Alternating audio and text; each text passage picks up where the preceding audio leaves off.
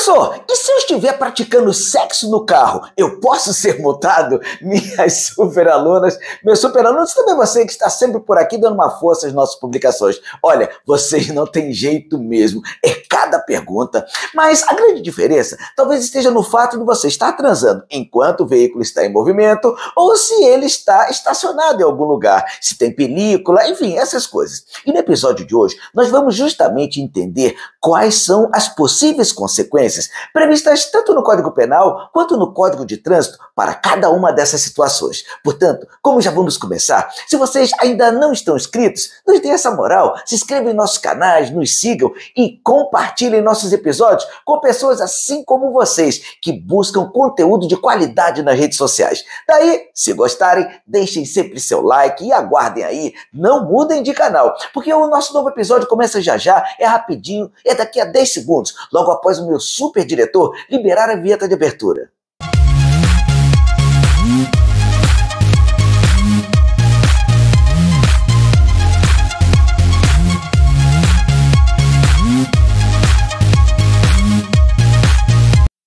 Então vamos lá. Indo diretamente ao assunto, a conduta de praticar sexo em um veículo poderá ter consequências distintas em função do carro estar em movimento ou estacionado.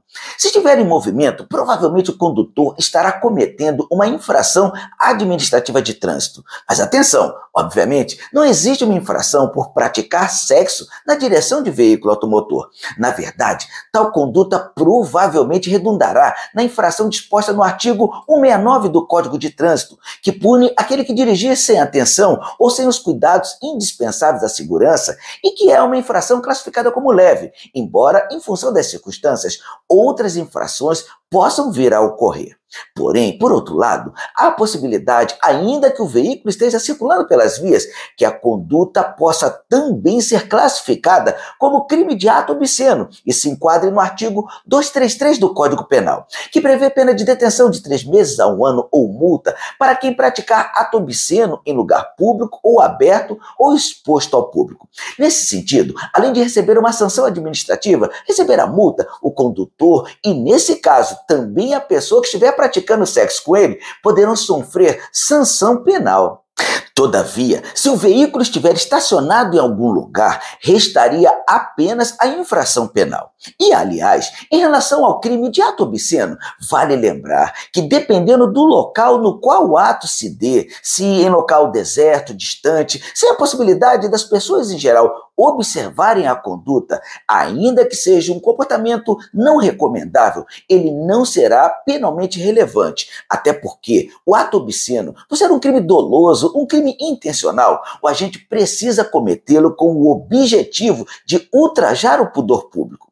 Ainda assim, é importante frisar que, em virtude dos elementos constitutivos do tipo penal do crime de importunação sexual, conforme o artigo 215-A do Código Penal, discordamos veementemente da solução apresentada por alguns colegas que o indicam como uma das possíveis respostas penais para o caso, já que nesse crime o agente precisa praticar o ato libidinoso especificamente contra a vítima e sem a sua anuência, com o objetivo de satisfazer a própria lascívia ou a de terceiro, o que definitivamente não se daria nesse caso.